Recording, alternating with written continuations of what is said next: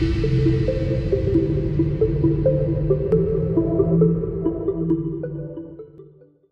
protein is a molecule that's a bit like a paperclip. Why? Because to function properly, it needs to be folded into a specific shape. If a paperclip was unfolded, it would be hopeless at holding documents together and could easily get tangled up. Well, just like our paperclip, if a protein is unfolded, it can't function properly, and it's more likely to get tangled with other proteins in our body. Except a tangled mess of proteins is much worse than a tangled mess of paper clips. In fact, unfolded proteins are found in over 40 human disorders, including the pregnancy complication preeclampsia, which is characterised by high blood pressure.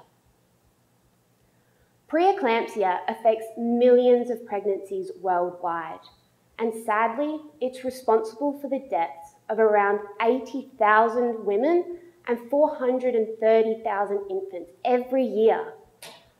It's really difficult to predict who will develop preeclampsia, and this is a major challenge for doctors, but something that I'm hoping to change.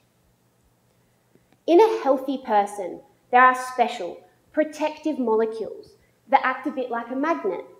They attract unfolded proteins and get rid of them before they can form a toxic tangled mess. For my PhD, I'm studying a newly identified magnet molecule known as pregnancy zone protein, or PZP.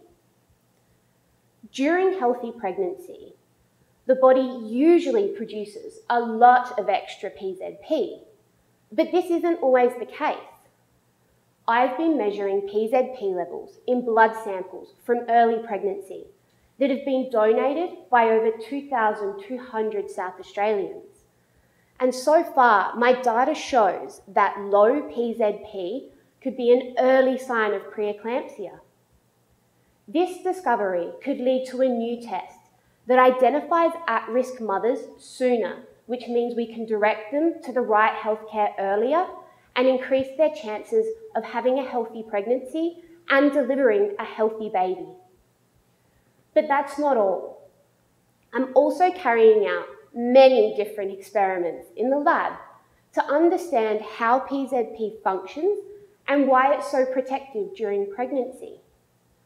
By doing so, I hope that I can uncover the biological importance of PZP and that my research can contribute to developing strategies for the treatment or even altogether prevention of preeclampsia.